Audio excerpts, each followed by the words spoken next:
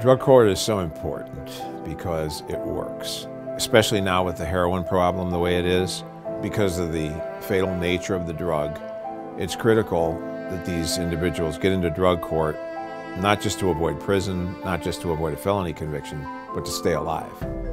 And we have proven that we can do that.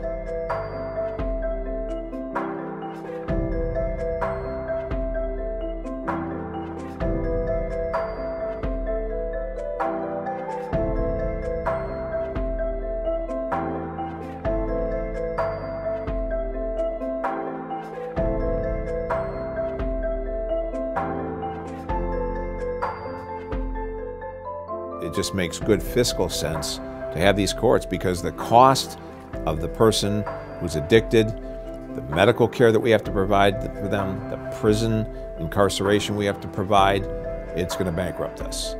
And I think we see that.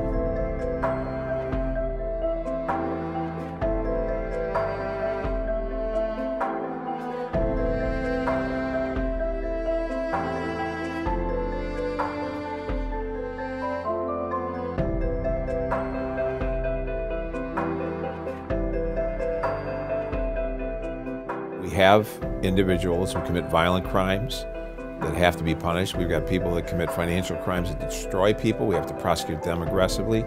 But someone who is recreationally using drugs, uh, you know, we've always criminalized it, and now we see that we've been banging our heads against the wall, and it doesn't work just to lock them up.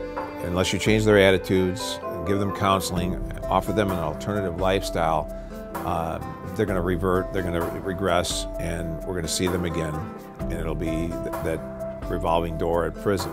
So this is the way out. The compassion is the key to turning the corner.